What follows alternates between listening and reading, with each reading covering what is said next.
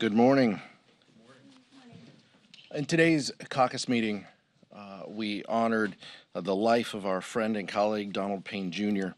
He was a warm and passionate person, uh, is deeply missed by all of us. Uh, many of us will be heading to his homegoing ceremony uh, in Newark, uh, New Jersey, um, later this week.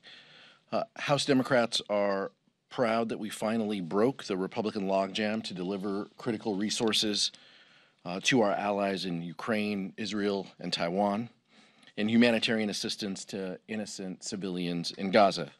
The National Security Supplemental does not make it over the finish line without the steadfast leadership of Democratic leader Hakeem Jeffries.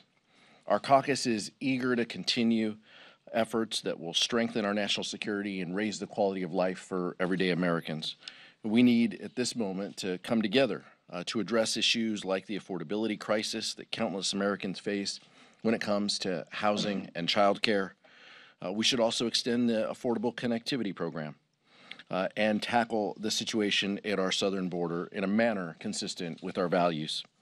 Democrats are ready to reach across the aisle to solve these important challenges ahead, and we cannot go back to a partisan gridlock that defined the last seven months.